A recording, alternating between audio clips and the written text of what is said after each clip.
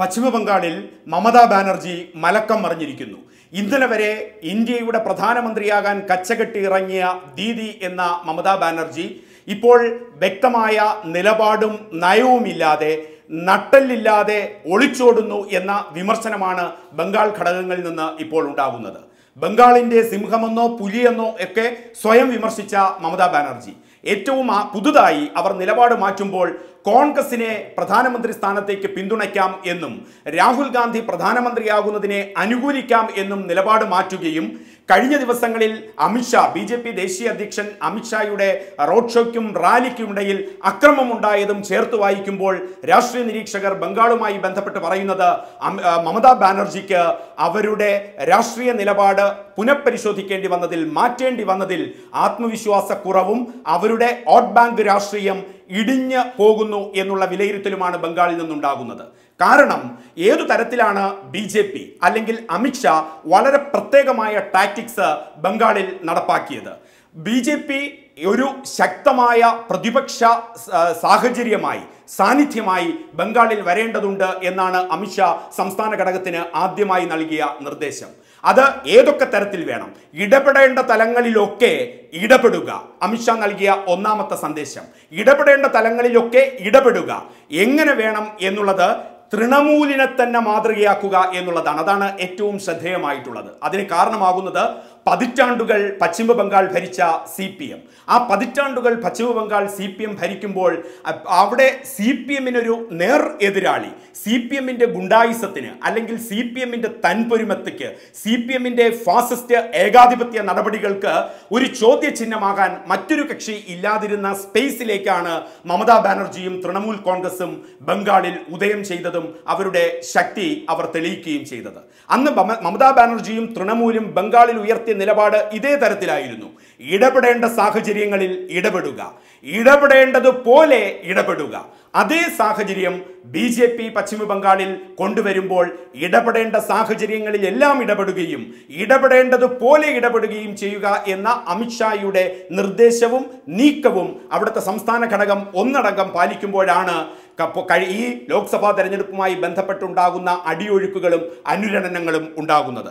നാൽപ്പത്തിരണ്ട് സീറ്റുകളാണ് പശ്ചിമ ബംഗാളിൽ ഉള്ളത് ആ നാൽപ്പത്തിരണ്ട് സീറ്റുകളിലേക്ക് മത്സരം മുറുകുമ്പോൾ കഴിഞ്ഞ ദിവസം വരെയും നാൽപ്പത്തിരണ്ട് സീറ്റുകളിൽ തനിക്ക് ഏറ്റവും മുൻഗണനയും അതിന് മുൻപന്തിയിലും നിന്നുകൊണ്ട് തനിക്ക് തൃണമൂലിനെ നയിക്കാൻ കഴിയും എന്ന് ആത്മവിശ്വാസം ഉണ്ടായിരുന്ന മമതാ ബാനർജി ഒരു കോയിലേഷൻ ഗവൺമെന്റ് എന്നുള്ള രീതിയിൽ താനായിരിക്കും പ്രധാനമന്ത്രി എന്നുള്ള തരത്തിലേക്ക് ചർച്ചകൾ വഴിതിരിച്ചു വിടുന്ന തരത്തിലേക്ക് ഒരു പൊളിറ്റിക്കൽ സ്ട്രാറ്റജി ആ രീതിയിൽ തന്നെ മമതാ ബാനർജി മുന്നോട്ട് വന്നിരുന്നു. അതിന് അതിൽ അവർ ഉന്നയിച്ച നിലപാട് നേരിട്ട് പ്രധാനമന്ത്രി നരേന്ദ്രമോദിയെ ചോദ്യം ചെയ്യുക നേരിട്ട് അമിത്ഷായെ ചോദ്യം ചെയ്യുക അതിന് ഏതു തരത്തിൽ അമിത്ഷാ പ്രതികരിക്കും പ്രധാനമന്ത്രി പ്രതികരിക്കും എന്നുള്ള നിലപാട് അവർ കണക്കാക്കിയ അവർ കണക്കുകൂട്ടിയ കാര്യങ്ങൾക്കപ്പുറത്തേക്കാണ് കാര്യങ്ങൾ പോയിരിക്കുന്നത്. അതിലിപ്പോൾ ബംഗാളുമായി ബന്ധപ്പെട്ട് രാഷ്ട്രീയ നിരീക്ഷകർ പറയുന്നത് അമിത്ഷായുടെ രണ്ടേ രണ്ട് വാക്കുകൾ അമിത്ഷായുടെ രണ്ടേ രണ്ട് നിർദ്ദേശങ്ങൾ.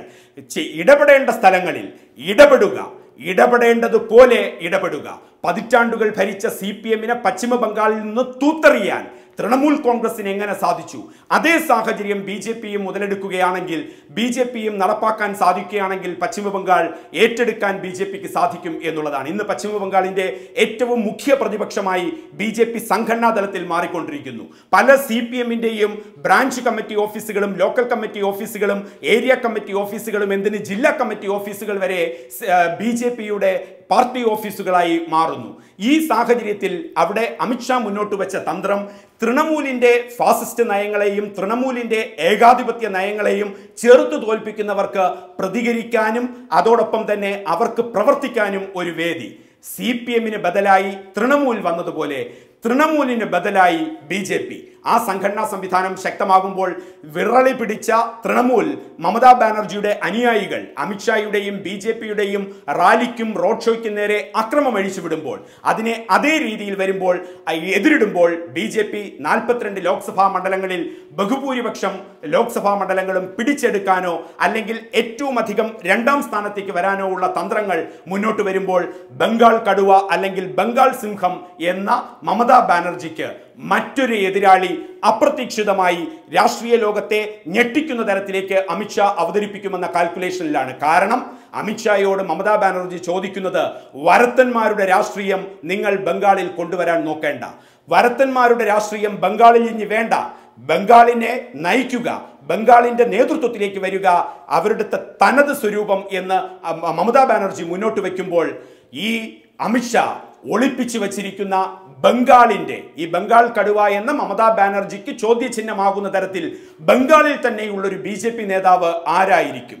എപ്പോഴും ട്വിസ്റ്റുകളും എപ്പോഴും എപ്പോഴും അത്ഭുതങ്ങളും ഓരോ നീക്കങ്ങളിലും ഒളിപ്പിച്ചു വച്ചിരിക്കുന്ന അമിത്ഷാ ബംഗാളിൽ വോട്ടെടുപ്പ് കഴിയുമ്പോൾ അവിടെ ഉയർത്തിക്കൊണ്ടുവരുന്നത് ആര് എന്ന കുതൂഹലത്തിലും കൗതുകത്തിലും തിരയുകയാണ് ബംഗാളിലെ രാഷ്ട്രീയ ലോകം.